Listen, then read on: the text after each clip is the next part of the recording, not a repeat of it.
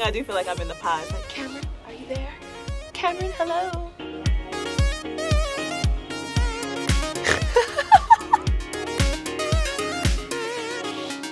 Barnett or Damian said that.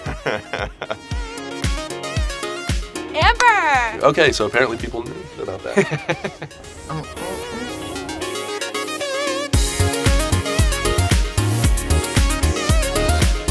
Ooh, what is Lauren's secret fetish? Hmm.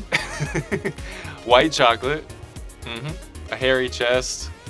Okay. Yep. Food. Sucking on her toes? What is wrong with y'all? Food. Oh, we got two foods. Someone knows me very well.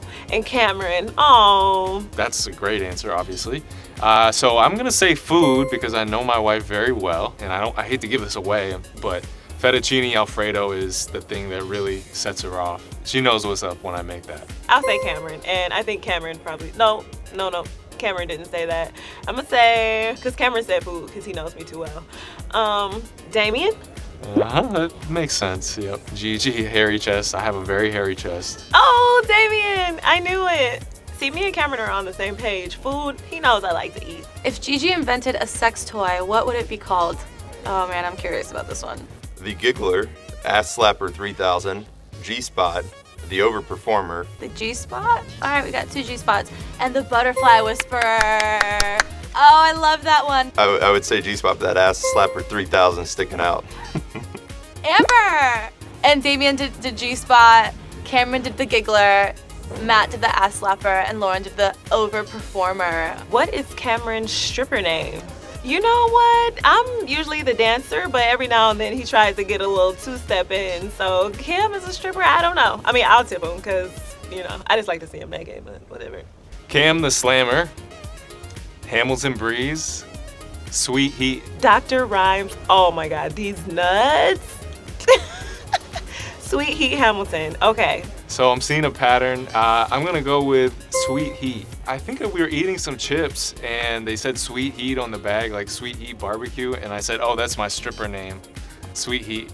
So that's how that came about. Dr. Rhymes is kind of, I kind of like that because, you know, he has his, his rapping rhyme. So I feel like as a stripper, like coming to the stage, Dr. Rhymes. That's, I like that one. Lauren said that, obviously. Oh, Gigi? I'm surprised. These nuts. Amber.